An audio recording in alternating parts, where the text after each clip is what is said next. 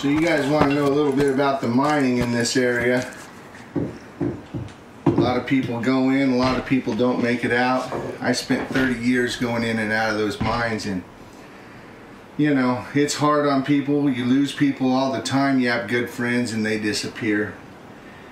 A lot of people think when you the people die in those mines, their, their ghosts are still down there. I had one buddy, he he went down there, his friend had died, and he's, his headlamp went out. He was about a half mile down into the mine. He couldn't see anything. You can't see your hand in front of your face when you're down in that hole.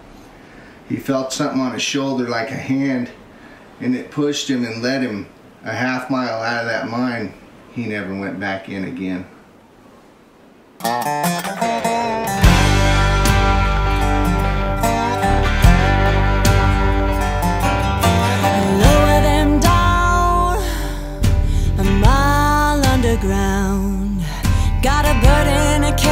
Gonna tell them if they live or die. An hour out of town, and Daddy knew deep down. That bird in the cage is gonna tell him if he lives or dies. Heading out west changed everything. Daddy chased that green like a runaway train.